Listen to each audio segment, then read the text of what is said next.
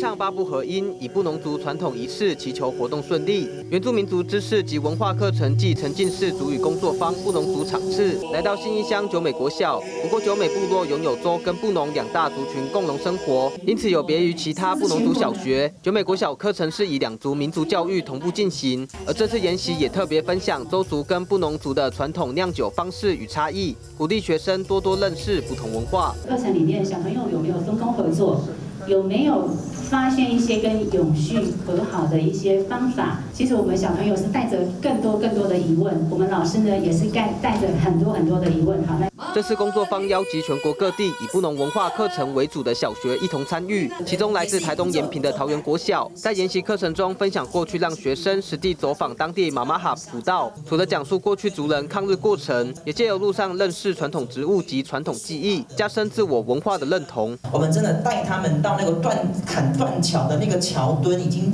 已经斑驳了好几百，就是好几十年了。我们在那边，我们在让他们去体验的时候，他们真的会感受到哦，原本。原来我们的祖先曾经是这么勇敢的，在反抗一个帝国。为了协助学校把原住民族议题融入课程，并增进沉浸式族语教学，透过办理原住民族知识及文化课程及沉浸式族语工作坊，让各学校彼此分享教学经验，让师长们互相学习，进而让民族教育课程更多元，也从小培养文化底蕴。原视新闻，昆迪南投信义城报道。